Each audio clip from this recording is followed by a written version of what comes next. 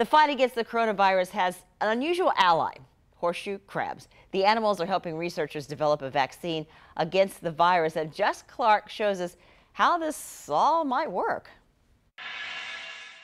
They've been around for, what, 450 million years or something like that. Horseshoe crabs and COVID 19. How are the two connected? Well, that's a good question. Dr. Mark Martindale runs the UF Whitney Marine Lab in Marineland. He can explain. All substances that enter or make contact with human blood have to be tested by the FDA to make sure that they're not bringing any kinds of contaminants into the human body.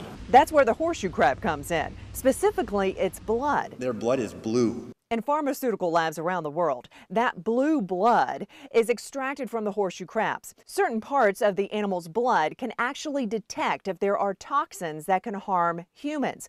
So all kinds of medical treatments are tested with compounds from horseshoe crab blood. This happens every single day for every single blood transfusion, for every single vaccine that we get. If it passes the test and it's allowed, the FDA approves it for use in human uh, subjects. Here's where the coronavirus comes in.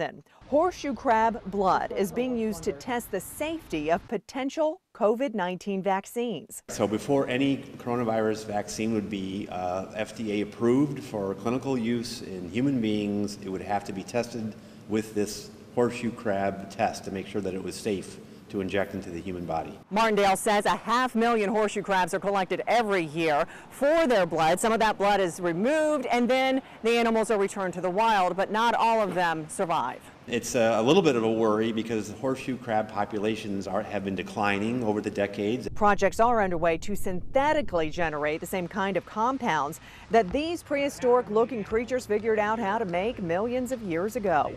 Jessica Clark, First Coast News on your side.